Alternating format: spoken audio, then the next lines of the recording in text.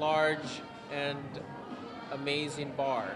The restaurant even features a window where patrons can see dumplings being made right on site. Pork dumpling, the beef pot stickers. We also have a vegetarian that we steam. Uh, and we also have uh, some noodles. Uh, the, the top seller is the spicy beef noodle soup. As for Crane's Bar, downtown resident and former bar owner Darren Crane wanted to open a watering hole for his downtown neighbors. He recalls turning down a larger space in favor of this one at the city tower lofts. We were walking past the vault, and I said, What's this? And he goes, Well, uh, it's storage. I said, I want that. He goes, ah, It's so small. I said, That's what I do. I do small little neighborhood bars. So, what's the appeal of downtown for these entrepreneurs? It has the it has the edge that Hollywood used to have. Uh, it's innovative. Uh, they're accepting um, uh, new businesses. And it's not just new bars and restaurants popping up downtown. A new school will soon open its doors there. But as Anna Marcos tells us, it's no ordinary school, it's a boarding school with an international flair. Set amidst LA's most iconic skyscrapers, the American University Preparatory School will have an international flair. Chinese businessman and founder Wang Wei even made sure the boarding high school has the right feng shui. It will be next to a hotel in a high rise that formerly housed the old Laemmle Theater. His team also made sure the horoscope provided a favorable day for the announcement. The timing of this launch is very perfect. It could not be better because in a few days we'll be celebrating the Chinese New Year, ushering into the year of the horse. And the year of horse is largely considered as a year of fortune, great success. The curriculum has its own trendy acronym, STEAM, which stands for its high tech mix of science, technology, engineering, arts, and math. The student population will be as diverse as LA, and the academic team top notch. We're looking at college preparation for domestic and international audiences. We want to develop global leaders. We're interested in interdisciplinary approaches. In the last 10 years, LA's downtown population has exploded from 10,000 to 50,000 residents, and that has brought a growing need for services, including education. We talk a lot about the renaissance of downtown LA, all the new businesses, the new restaurants, the new people coming to live here. Having a boarding school here adds to that. It shows that downtown LA is on a new path. It helps to have this type of an experience uh, Uh, to broaden our ability so that we can have a more peaceful world, one where we're based upon trade and competition and not war and destruction. Renovations are already underway, and come August, the doors will open to yet another educational alternative for Angelinos and students around the world. I'm Anna Marcos for LA This Week. The high school will eventually accommodate about 360 students. Curriculum, including room and board, will be under $50,000 a year. Next up is yet another update to the ever improving Tom Bradley International Terminal at LAX. As Anita Bennett reports, another new feature has been added, this one designed with the airport's young visitors in mind. It's an exciting day for these LA area kindergartners as they take a beach break from school. I played on on the surfboards with my with my best friend Melanie. It was not like a playground; it was a, it was a beach playground. Instead of spending the afternoon in class, they were invited to try out the new beach-themed play area in the Tom Bradley International Terminal at LAX.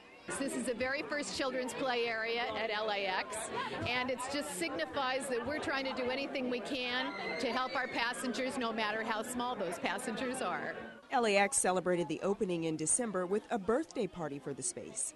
They even brought in a mascot, six airport therapy pups, and dozens of children from nearby Playa del Rey Elementary School. Play area is fun because you can go upstairs and you can and you can see through you can see through that wave. The play area has a series of special features to make sure no one gets hurt, including this padded floor. All of the materials here are, of course, um, safe for children to be using. The floor has extra padding in it. Um, there's lots of little um, surfboards for children to play on that have rounded edges. Located in the terminal's Villaraigosa Pavilion, LAX Beach was designed by Westfield Airports with the facility's young passengers in mind. And these discerning critics give the play area a stamp of approval. At Los Angeles International Airport, I'm Anita Bennett for LA This Week. Los Angeles World Airports paid for the $350,000 play area. No money from the city's general fund was used. Honoring civilian volunteers on this anniversary of the Northridge quake, the city aims to better enforce laws that take guns out of the hands of abusers and a new park that's enjoyable for adults and kids alike. These stories and more in City Beat. CERT, or Community Emergency Response Teams, is made up of volunteers who head into disaster areas to provide basic medical aid and help in search and rescue efforts. And on this anniversary of the Northridge quake, city leaders honored those volunteers. The San Fernando Valley is the epicenter of disaster. And as a council member of the 12th District, I'm proud to say that the first CERT team was 30 members from the Devonshire Division Neighborhood Watch Group to help those who can't help themselves in a major disaster. CERT is a program of the Los Angeles Fire Department and goes back to 1986. And just before the new year, City Attorney Mike Feuer's office rolled out new efforts to prevent gun violence in domestic abuse situations. Under the current law, any person served with a domestic violence restraining order or criminal protective order must surrender or sell their registered firearms within 24 hours. The new protocol has the LAPD working closely with the city attorney's office to help prosecutors identify those individuals, file appropriate gun charges, and ensure that no defendants fall through the cracks. The city has opened yet another new park, the State Street Recreation Center at 716 North State Street in Boyle Heights. With the help of the California Endowment and the Los Angeles Clippers Foundation, the State Street Rec Center was selected as the first of three locations for 2014 to receive a playground and basketball court refurbishment. The refurbishment included the replacement of the existing playground equipment, the addition of a fitness station, and the resurfacing of the playground area and the basketball court. Council President Herb Wesson represented the city at the recent unveiling of Sung Kyung Chang Square at the intersection of 8th Street and Western Avenue. Chang, a businessman, has for years advocated for LA's Korean American community on issues close to their heart. He's been an advisor to Mayor Garcetti, Villaraigosa, uh, uh, Hahn. He's been an advisor to my former boss, Nate Holden, Tom LaBonge, and to me. Chang was born in North Korea and later made his way to Los Angeles, where he achieved the American dream by becoming a successful entrepreneur in the clothing retail and wholesale business. When talk turns to education or recreation, it's often children's programs that receive the most attention. But some of the city's senior citizens are asking for continued support for programs that keep their body and mind young. The senior citizens are putting on a show at Glassell Park Community and Senior Citizen Center's sixth annual end of year celebration. They start slow with Tai Chi and move seamlessly into an upbeat line dancing routine they learned in their physical fitness class.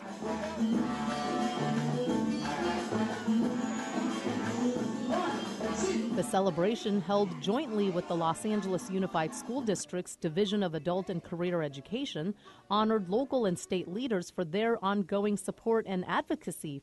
Programs for older adults uh, health and safety, parent ed are slated to be cut in June of 2015 throughout all the public schools and community colleges throughout the entire state of California. We want to thank you for being a leader, saving our division, our programs for up until June of 2015. And we need you to continue fighting for us for his part, Senator Kevin De Leon says we must not forget those who came before us. As elected officials, regardless of what our age may be, and what generation, that it's our role and responsibility to take care of those who took care of us. Mayor Eric Garcetti and Councilmember Gil Cedillo, both of whom were unable to attend but represented at the event by members of their office, were also honored for their commitment to the city's senior citizens. So each one of you that's sitting here that makes those decisions at the state level, board level, we ask you to save programs for adult education. Join the mayor to save the programs for adult education. This is truly uh, a celebration, a celebration of uh, the year of uh, participating in programs, um, in classes, where you've been able to strengthen your, your muscles, where you've been able to expand your mind, and really get in touch with your soul. And this group of seniors made sure no one was safe from some much needed exercise. Even Senator De Leon got pulled onto the dance floor for a few shakes. Proof that even at their age, these seniors have still got a lot to teach the younger generation. In this week's list of things to do, a weekly cardio class, Music of Hawaii comes to Little Tokyo, and Japanese taiko drumming at UCLA. Fitness guru and high level trainer Nathan Ford will lead a new donation based fundraising fitness program at the Barnsdall Art Park every Saturday from 9 to 9:45 a.m. You're invited to take part in this weekly 45 minute cardio class on the West Lawn. Donations will benefit Barnsdall Art Park. This high energy group fitness class offers a full body workout combining strength training and cardio, suitable for the active individual. The first class is on Saturday, January 25th. Barnsdall Art Park is located at 4800 Hollywood Boulevard. More details can be found at barnsdall.org. Hawaii's famed guitarist, vocalist, and songwriter Willie Kahai Ali'i, better known as Willie K, is back at the Japanese American Cultural and Community Center on Saturday, January 25th. He'll bring his unique brand of music, from traditional and contemporary Hawaiian to blues and rock, to audiences at 7:30 p.m. The JACCC is located at 244 South San Pedro Street in Little Tokyo downtown. Go to jaccc.org for ticket prices and other details. According to a story written in one of Japan's oldest books, taiko drumming was created to lure the goddess of sunlight from her cave. On Sunday, January 26th, you can help lure the goddess from her hiding place when you attend the free Family Jam Drum Up the Sun Taiko event from 2 to 4 p.m. at the Fowler Museum at UCLA.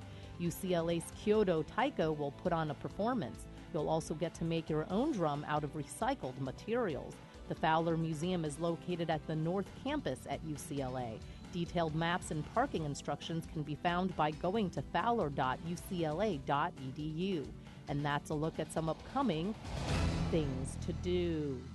The Department of Recreation and Parks is helping youngsters show off their athletic skills and earn some coveted bragging rights. Anita Bennett explains.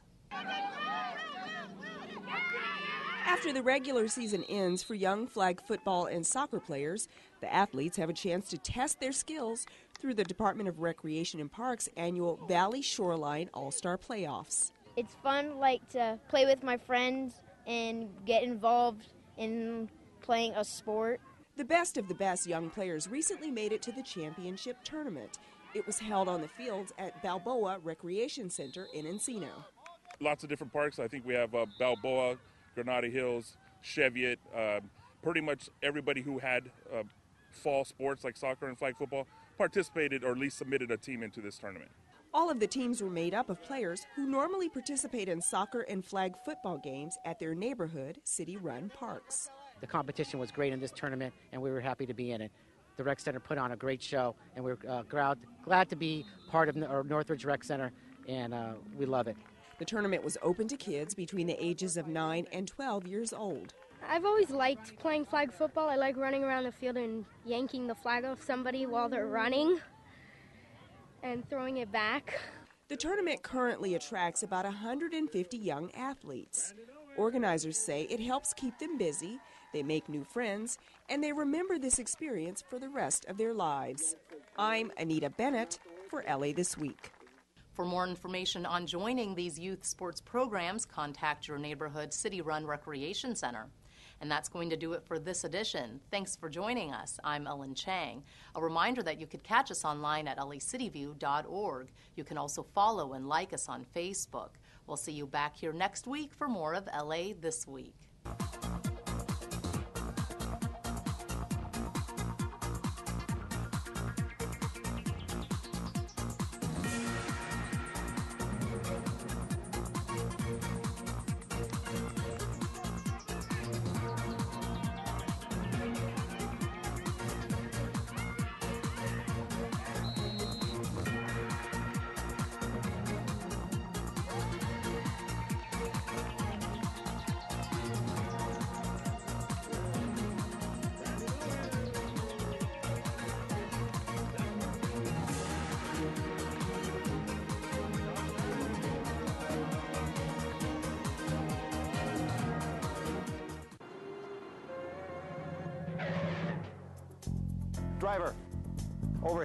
Sir, remove your shoes. Sir, remove your shoes and stand here. You have to focus when crossing a street. Every day, pedestrians are seriously injured or even killed because they're not paying attention when they cross, or because drivers fail to yield. A pedestrian always has the right of way. Pay attention, obey the law, or deal with the consequences.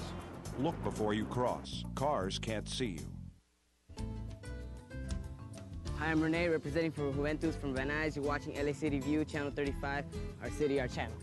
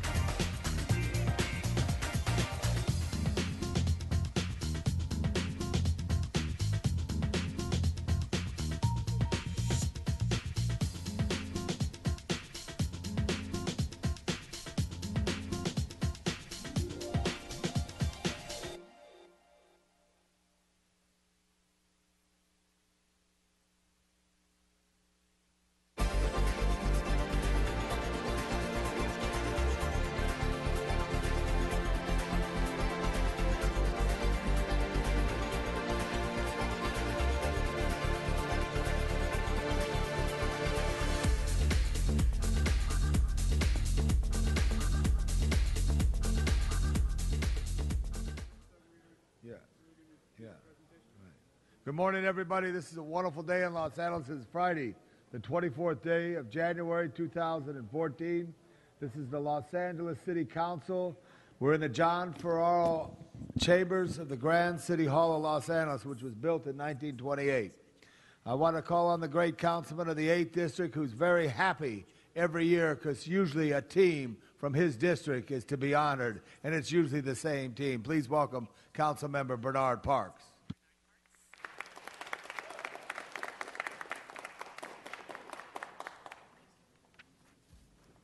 Thank you very much, and I'd like to ask uh, Principal Ramon Corley to come up, Coach Garrett, all of the team and coaches come on up.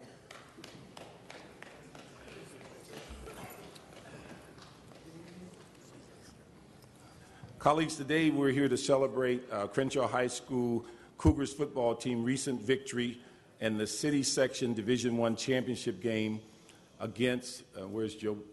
He had to miss, he, he had excused himself, Mr. He Parks, did. today. So we'll put it on tape against Narbonne uh, High School uh, Gauchos. The Cougars had an impressive record of 10 wins, four losses. Crenshaw also beat Jefferson, Dorsey, and Venice in the playoffs before taking down a seasoned Narbonne team 20 to 13 at East Los Angeles College. The December 6th victory gave the fourth Division One title to Coach Garrett Coach Garrett has been making a difference in Los Angeles City section since 1988. He's also one of the area's most successful and respected coaches. He has led the Cougars to a 14 and 1 record in 2009, and they played in the state open division game, which we honored them in 2009. The Cougars have won over 90 games under Coach Garrett since 2004. But according to those around LA City section, certainly Crenshaw, Coach Garrett does much more than teach football, and because of him, these outstanding student athletes, the Crenshaw Cougars, are currently ranked 29th in the state of California. So I'd like to have my certificate, Andrew, so we can present it to our principal, Mr. Uh, Corley, and have him make some comments. Andrew? There you go. So, Mr. Corley, on behalf of the City of Los Angeles, we'd like to commend you and these student athletes for their performance this year and like to present this to you and have you make some comments.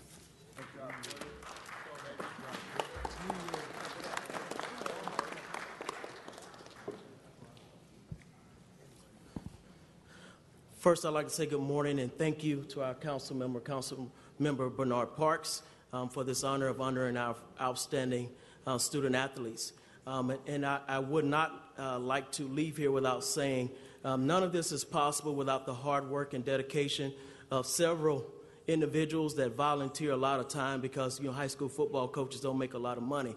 Um, but none of this is possible without the dedication of Coach Robert Garrett. And I think, and I think uh, all the players and all the coaches that participate in this in this uh, fantastic season would, would join me in, in agreeing with that. Um, this, this man dedicates a lot of his time, his energy, his focus to not only coaching them on the football field, but mentoring them off the football field. He gets intimately involved with not only their personal lives, but also their families as well.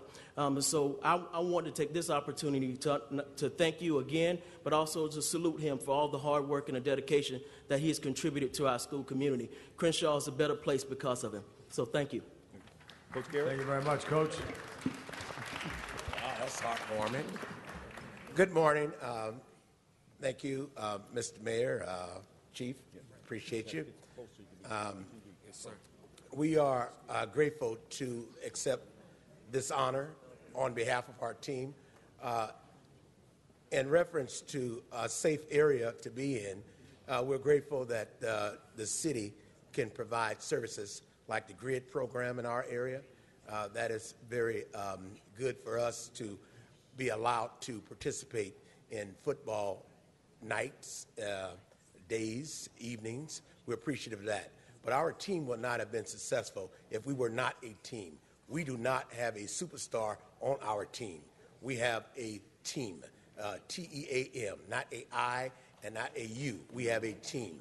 And uh, because of our team effort, we're able to accomplish these goals. So we appreciate you for honoring us, and uh, we hope to be here next year as well. Yeah. Why don't you introduce the student that's going to speak? Okay, I will uh, now introduce uh, student Kenneth Davis. He's one of our leaders, and uh, he will um, have a word. Kenneth?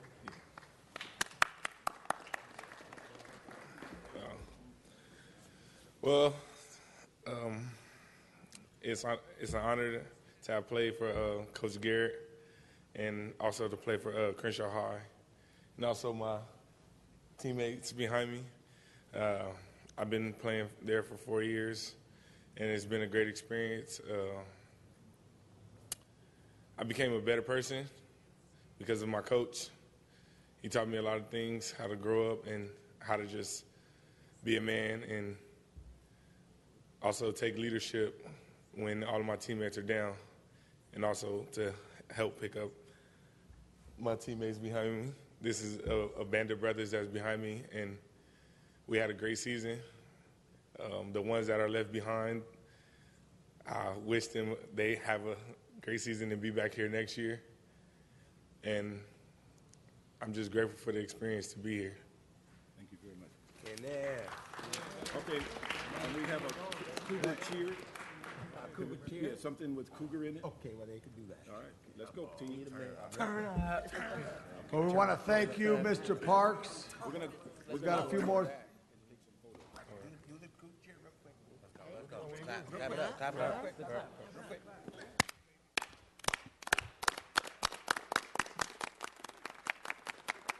One, two, three. Yeah! One, two, three. Yeah! One, two, three. Yeah! Show me, Sean three. One, two, three. Sean! Crenshaw. All right, good job, Crenshaw. Crenshaw Cougars. Congratulations. Thank you, Mr. Parks. And uh, coaches, congratulations. And the administration, great job. Mr. Cedillo, we thank you. I'm. We're going to call the roll. Blumenfeld, Bonin, Buscaino, Cedillo, Englander, Fuentes, Huizar, Koretz, Corin, LaBonge, Martinez, O'Farrell, Price, Parks, Price, Wesson, 11 members present, a quorum, Mr. President. First order of business. Approval of the minutes. Mr. Cedillo moves, and Mr. Englander seconds. Next is community resolutions for approval. Ms. Martinez moves, and Mr. Bonin seconds. Mr. President, there's a request to continue item 1 to February 7th. So ordered. Item one. Item 2 is an item for which public hearing has been held. Okay, item, it has been held. Members, does anyone want to speak on item two? See none. Let's open the roll, close the roll, tabulate the vote. 11 ayes. There's a request for that item to go forthwith. Forthwith ordered. Item 3 is an item for which public hearings have not been held. Item three, I'm going to check the cards here. Arnold Sachs, oh.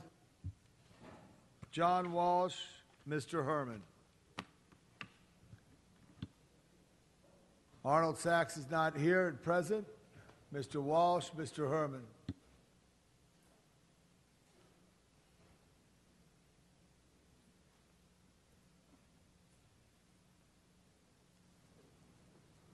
John Walsh, blogging at HollywoodHighlands.org. Please come to our website for some amazing information. Item three concerns removing various properties from the REAP. Now, uh, Mr. Koretz isn't here, but he pl- claims that unless I have property, I'm not allowed to speak on it. That's his fascist position. Well, I don't own property at 1227 24th Street but I'm glad that the landlord is being forced to make repairs to bring it up to code. I don't live at 2664 South Cochran Avenue, but those of you who do know that your building was not up to code. The city came in when you asked them to. The city prevented the landlord from, from collecting rent. You sent your rent to the city instead. And then once all of these code violations were repaired, then it comes here, and then the uh, property owner, the slumlord, uh, who has repaired the slum conditions, is allowed to collect his rent. Now, I've been told by Mr. Koretz that I'm not allowed to say this. So if you want to arrest me for getting up here and talking about REAP and talking about how all we renters are interested in this fine. I'm waiting to be arrested uh, or for disrupting the meeting. Uh, 4623 East Paula Street. Again, a uh, slumlord landlord has been caught, and I'm telling you right now, if you have any code violations out there, and they're not going to tell you, they, they get money from the slumlords. Go to the city, and the city will do a good job. These people won't. HollywoodHighlands.org. We are for the people who are watching. These people are for their campaign contributors. Mr. Herman. When it comes to rental units in Los Angeles, REAP, other, otherwise known as Rent Escrow Account Program, deals with violations of habitability, right?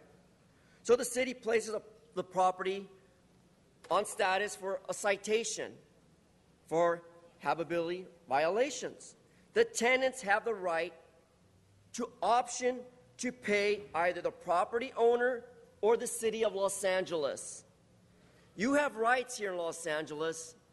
Don't be afraid to come here and get your rent escrow or your REAPs down to cost because this is the perfect place to vent out effective speak when it comes to the violations and citations, the injustice placed upon you. We are all affected by rental units that are not livable, slumlord conditions. So, in order to improve the quality of our life in Los Angeles, we must take an action that represents the rental units or you, the tenants. But altogether, the rental payments are used to pay for costs associated to the repairs at the rental property, not to be put into the general public funds. Mr. Mike Feuer, welcome to Los Angeles. Good to see you again. Delighted that flight from uh, Sacramento with you when you were first running. Great job. Keep it up. All righty. And going back onto topic, Mr. Koretz has no purpose to say that we're not effect, uh, effective speakers. We are effective speakers because we come here to challenge the government institute that deprives all of you Angelinos the right not just to speak under the First Amendment, but the right to speak on behalf of an item, even if you are not living in that area, but are you're impacted by the fact that you are a tax rate Mr. payer. Herman is complete. Mr. Sachs, name called second time on this item. Thank you.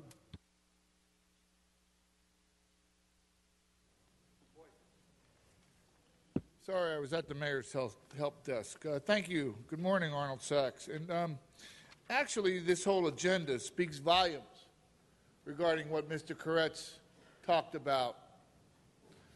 There's a lien item, there's one item that's been held in committee, and there's these resolutions for rent escrow. And we have 10, 11 council members here and their staff collecting $187,000 for the year for this sandbox stuff. It's ridiculous. You just got a report from a commission that Mr. Wesson, Councilman Wesson, put together that detailed some problems in the city. And you're going to sit around. Excuse me. Hold your time, please, Mr. City Attorney. He should be talking about the REAP issue. Uh, uh, Thank you very uh, much. Well, you're right, sir, and, and I, I am venting a little bit off subject. So this is back to the manpower, the use of manpower. You have inspectors going out for REAP, but you have no inspectors going out to check sidewalks. You have no inspectors going out to check foreclosed mortgage properties that have gone into disrepair. And you're sitting here with your staff members, staffing, collecting money for REAP. What, actually, this would be a better day for uh, Councilman Wesson to give you a day off again, because everything is ending up in committees and not being discussed in front of the city council or in front of the public on TV, where more people get an opportunity to listen. We're told at the MTA that down to three minutes because we're not on subject, or we, we whatever. We're not even told anything. But nevertheless, this is a perfect opportunity to actually agree somewhat with Koretz. But again, it comes back to answering about measure uh, prop. That completes Brown your Act. comments. All right, no other speakers on that queue. Open the roll, close the roll, tabulate the vote. 11 eyes. So ordered. Madam Clerk, at this time, it completes the numbered agenda. I have public comment. May I call Mr. Walsh, followed by Mr. Herman, followed by Ms. Ramirez, followed by Mr. Sachs.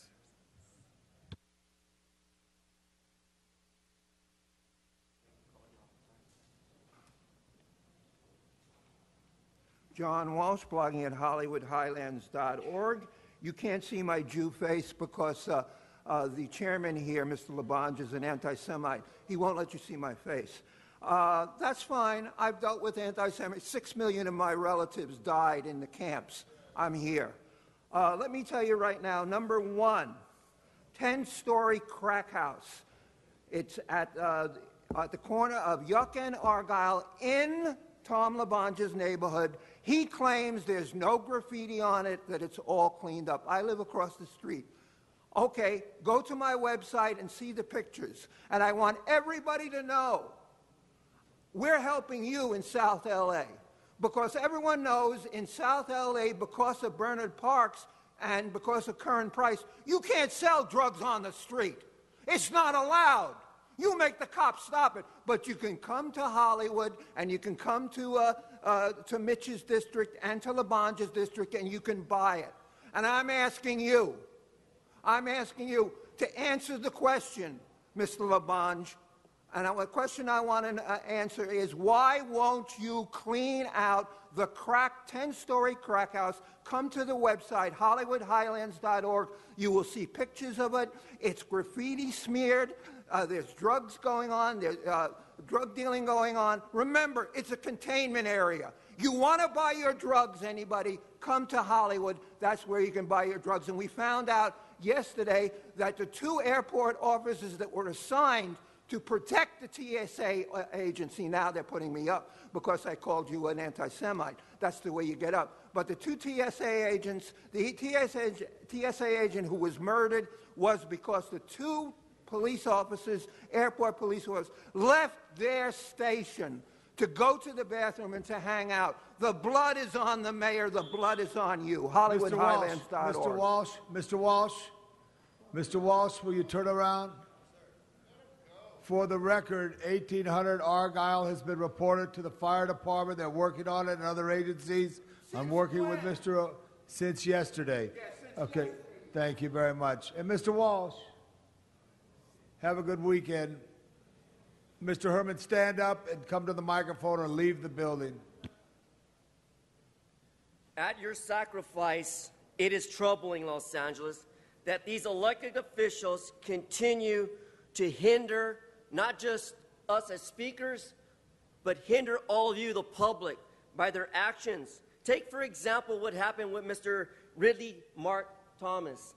Was it okay for him to convert his garage into a home with a heater, an air conditioning unit, at the cost of whom? All of you, the taxpayers. Yes, the department must investigate this building and safety issue because it affects your homes, the quality of life in your neighborhoods when you allow a garage conversion. Get the damn permits. Permits protect people in this city. The injustice of not getting permits is the idea of what this city has done to all of us, and that's ignore the issue. And today, on our streets and sidewalks that are still unsafe, thanks to Mr. Huizar, with the barrier on Soto Street by Hazard Park. That barrier is still there. I cannot maneuver myself safely there without injuring myself. So all this council does is bring harm. Harm, harm, harm to the public. So when will these inspectors from the department by Mr. Luke Zamperini take a comprehensive investigation into my your alleged allegations that Mr. Riley did nothing inappropriate or improper? You're abusing our government. You yourselves, elected officials that represent the law of local government. So, yes, I take offense to that. And yes, and to this day, the racist discrimination, injustice made by your alleged allegations that we're a threat, no, we're not a threat. We're speaking on our First, our first Amendment rights, Mr. LaBonge. Ms. Ramirez, next speaker.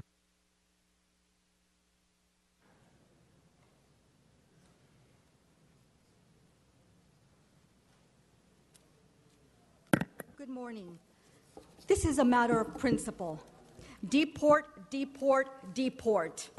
Again, we have a gangbanging epidemic, vicious and criminal felons uh, run amok. Again, this is in reference to uh, high rise buildings at 10535 Wilshire Boulevard, Los Angeles, California 90024, including the Westwood Wilshire Corridor and the Beverly Hills Century City uh, area. Again, these are unsafe, noisy, filthy, hostile, full service, and expensive high rise buildings that again are infested with crackheads, drug addicts. And again, these crackheads and drug addicts and uh, criminal illegal felon aliens, as well as black employees, AWAT and Antenna, who run the full service uh, place do not help uh, uh, do not help stop the hostility in the building against law-abiding tenants. And again the latinos who are employed there are also part of the criminal ring including your iranian criminal uh, who, uh, aliens who are also owners and who also run a criminal iranian ring in the westwood wilshire area. And many of them are also involved with the criminal illegal latinos who are peddling drugs into the to these junkies. Um, and the crimes that you're having there are mail theft, ID theft, noise, chronic noise disturbances, uh, ground theft, home invasion robberies, and full, again, full violations of your constitutional civil rights and um, uh, all other rights. Again, let me just make it clear. Uh, you have the West LA Police Department, the Homeowners Association, and the owners who do not help the renters who are renting from these owners. They bounce you back for uh, any complaints back to the West LA Pigs, and the West LA Pigs bounces you back to the homeowners, and the homeowners bounce you back to the owners. So you're playing Mickey Mouse with all these bunch of jackasses. Thank you. Mr. Sachs. Start the clock.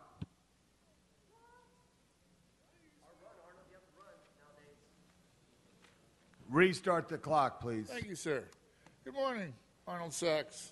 Um, wonderful meeting at Metro yesterday. Today's uh, headline in the Daily Breeze, and I'm not sure if it's in the Daily News because they pretty much print the same thing, that Metro is considering A or B, a fare increase and another sales tax. And so you want to say why, but you're not going to get an answer because you want to say why?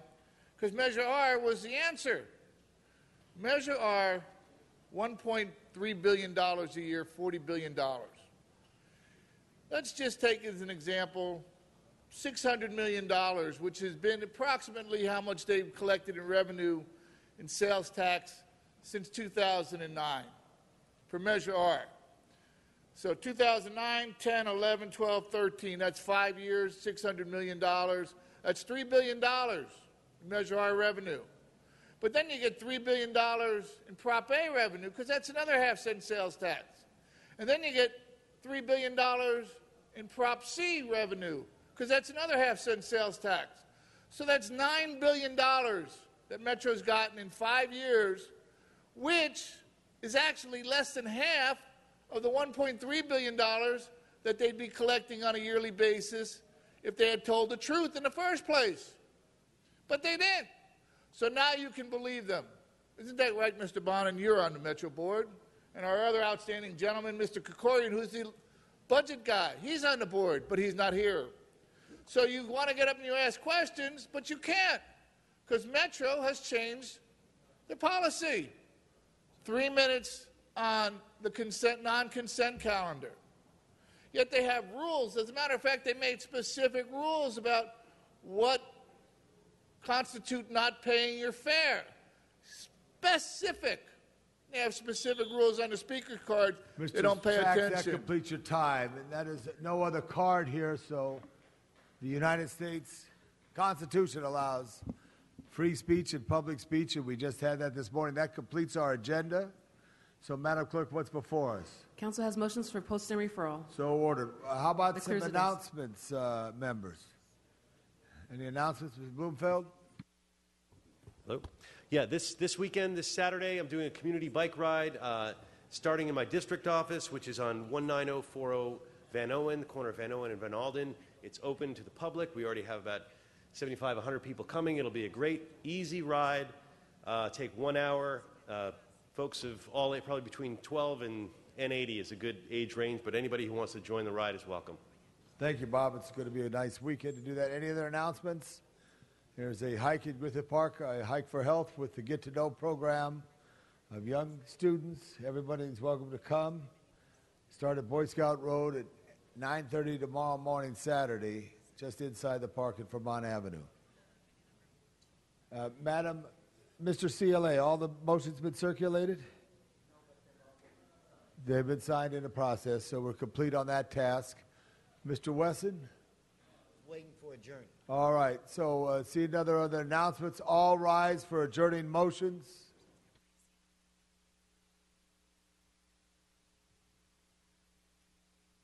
Sergeant, will you inform our guest? All rise for adjourning motions. Mr. Wesson.